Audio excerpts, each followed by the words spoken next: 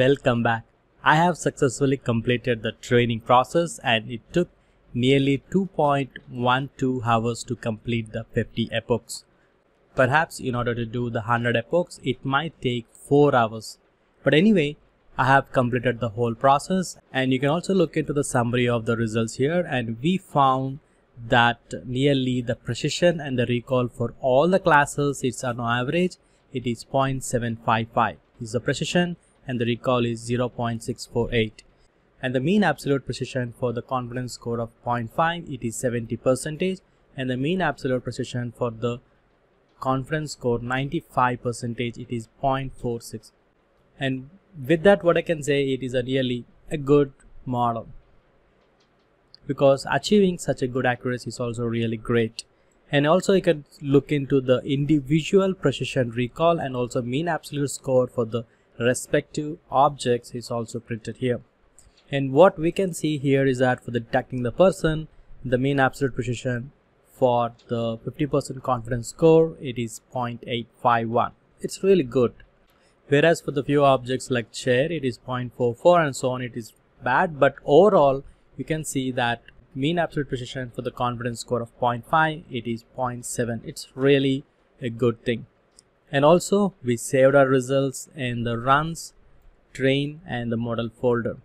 You can see that whereas in the YOLO and there is one folder called runs. Inside the runs we have the train and inside the train there is a models and here we have all the results are saved. And uh, inside the weights you can see the models which is saved in the PyTorch format. What we need to do here is that since I just want to load that in the OpenCV, I need to convert that into ONNX format. Now let us export our model to ONNX format. Let me go back to my Colab and here let's type the following to convert that into ONNX which is Python and we need to call the export.py. Export.py is basically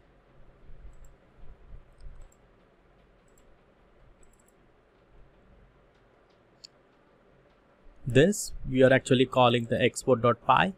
And if you open that, and here you can see the different formats that we can actually save our model.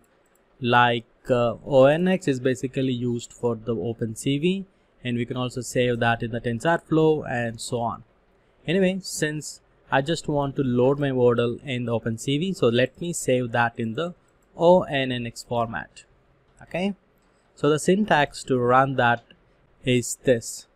We need to basically type the Python and the path of the export file and provide the weights of our model what we have saved and then we will need to include the torch script and ONNX. So let me copy this basically let me copy this and paste it here obviously the first one should be the exclamatory mark and the path of export.py is obviously in the same folder I'm working on this so I'll just give the export.py and here the what the weights I need to give is which is actually in the runs train models weights and there are two weights or basically z which is best and second one is last I'm going to give the best weights. Okay, let's provide that. Remember, it was there in the runs, train and models folder. Let's provide this. The weights is basically runs, train, models folder and inside that we have the weights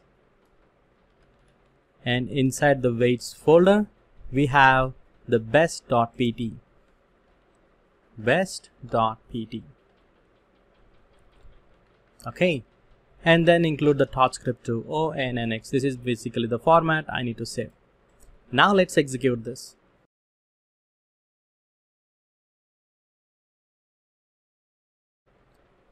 Done. We have successfully saved our model in ONNX format. Let's look into that and inside that you can see we have the model that is best.onnx.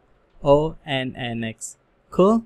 So this is how we can convert our model into ONNX and the next lesson we're going to use this. But what we have to do in this lesson is first let's save this into our local directory because in the further lessons we are going to use this only. So basically I'm going to save the models folder where I'm having all the results. let's go back. What you have to do? Right click and click on download. And navigate to our current working directory in the data where we have the data preparation folder. Let me create one more folder and name that as predict2 predictions. Okay let's save this.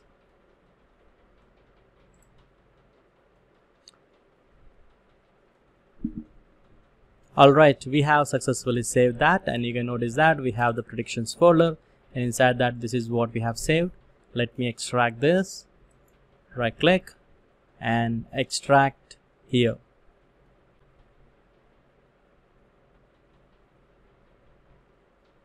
that's it. We have successfully extracted all these things. Let me check. And here you go. We have all the results.